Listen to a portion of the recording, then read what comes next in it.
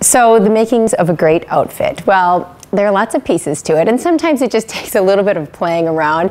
I know you've probably stood in your wardrobe many times as I have and just kind of, oh, I'm going to try this with this, and oh, I'm going to see if this works. And you know, sometimes it doesn't work, ends up a big lump on the floor, and sometimes it just comes together effortlessly.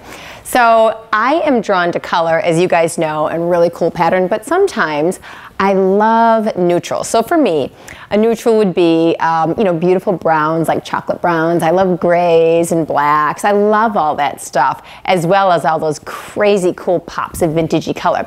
This is a great example of a neutral outfit for me that I can wear day to night. It's got cool twists about it. This velvet little topper is really fantastic. I mean, I love so much about it. I love that it feels like a neutral to me, but um, you know, it's still interesting. It's still got little quirky things about it. I love that it's got this gorgeous um, satiny ribbon for a belt. I like that I can just walk around and have it down like this, or I can tie it in the back if I want to. You know, that's really cool.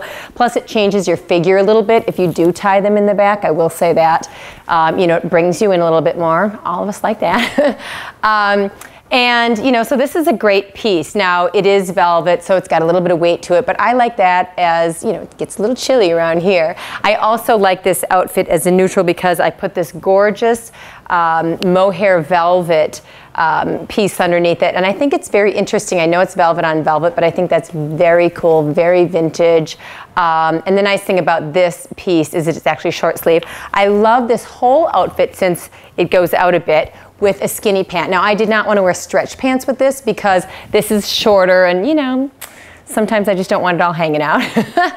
but um, I did wear these shorter boots with it and these pants are perfect to wear with a shorter boot like this and it's kind of cute. It changes your whole silhouette. So look how cute this is even if you get a little toasty or you know you feel like oh during the day you don't want to wear this piece you can certainly just wear it like this and it's darling you know I am the queen of layers I just love layering things because I feel like it gives me more options within my wardrobe allows me to play a little bit more and I tend to get a little I tend to go more on the cold side, so I'm always trying to add a layer. So this is, you know, one of our cute little basics that is really darling put underneath this. It's thin enough that I don't feel like I'm all bulked up or anything like that. I know we all hate that feeling, but it's really darling with this cute piece. I love that this is short sleeve. Again, very, very vintage silhouette, very vintage fabric. And then the beading on the neckline just kind of adds that little je ne sais quoi to the whole piece.